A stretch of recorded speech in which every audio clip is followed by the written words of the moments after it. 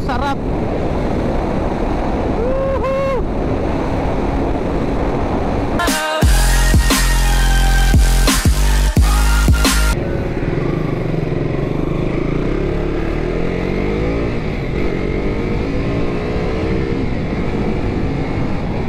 Let's go guys Woo! So Ang topic for today is uh, Testing ko tong ano I-ride. Itong new handlebar ko. Dahil in-upright ko na itong RC Kasi hindi ko na matiis. So Ang handling is sarap. Mas masarap siyang i-drive. Para sa akin. Oh, siyempre malayong mas relax sanayin lang pero sa bagong riding position kasi ngayon lang ako nag-drive ng ano rin wide handlebars.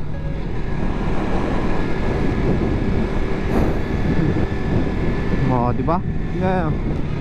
Pro, itong gamit kong handlebars is Pro Taper. Kasi yung mga Kawasaki, ano eh, medyo maikli lang yung mga handlebar ng mga yun. Ito medyo mahaba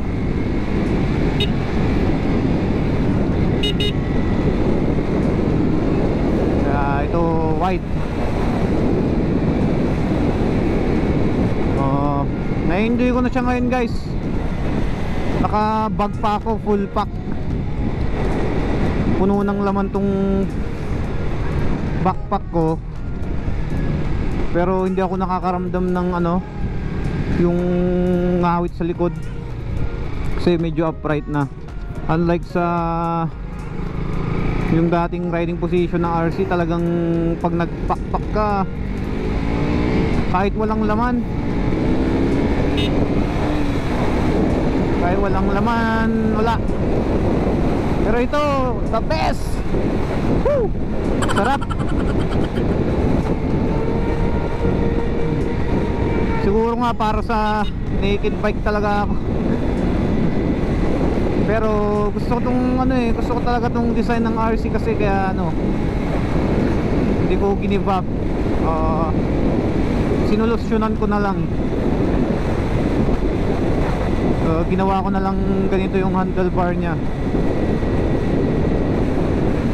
kasi yun nga para may long, long rides ko din hindi ako mahirapan kasi lagi rin ako may angkas eh oh, so ngayon ang pupuntahan lang natin is ano going to work lang ako guys. Bali lapit lang naman. Para matesting ko na rin to tsaka pag may bag ganun. Kasi nakakamiss din i-ride to eh. Hindi ko masyadong nagagamit Saka malapit na siyang mag 1,000 kaya gagamit-gamitin ko na para sakto pag punta ako ng KTM Papa first PMS ko na rin siya guys. Ah. So yun. Oh, Handling. Wala akong bang masabi kundi maganda. Comfort. Malayong malayong comfort Sa stock na ano riding position ng RC mas malayong mas gusto ko to. And ano pa ba? Sitting position nag, wala namang masyadong nag-iba. Tumaas lang talaga ng manubela pero safe pa din medyo sporty pa rin yung feeling. Kasi hindi naman totally upright eh. Nakayuko pa rin tayo konti.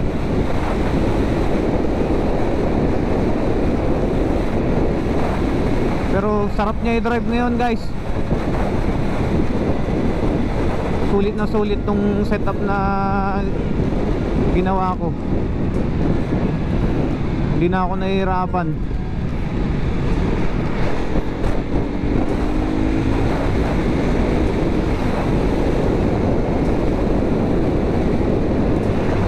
Oh. Dali niyang ano mas madali siyang i-maniobra maniobra ba tawag basta mas madali mas magaan gumas, mas gumaan yung handling niya para sa akin. Bagay mas nasanay ako sa naked bike. Okay na okay naman yung riding position ni RC na dati. Kung madalas ka sa track. Pero wala eh. Walang track dito sa amin eh na malapit kaya yun wala. Hindi kailangan. Ah, ito na lang. Problem solved. RC200 naging touring. Sports bike touring. Ano ba? Oh yun oh. Relax na relax. Walang ngawit sa likod itong manobela lang naninibago lang ako talaga ta. Ang alam ko pang ano to eh pang pang motocross. Kasi ito may ganito. Ito nakikita niyo ba to itong foam niya. Pero all good naman. Wala naman ng problema. Sanayan lang to kasi bago bago pa eh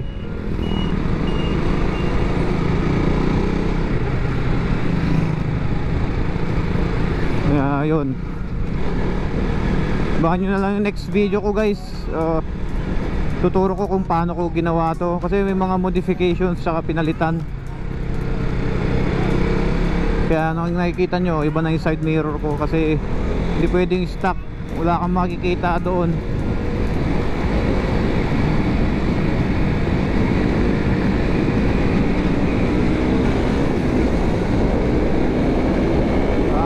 Yan.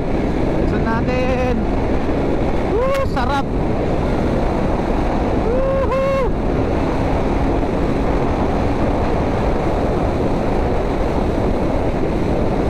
Ay, naglilimit. Shit. Ba?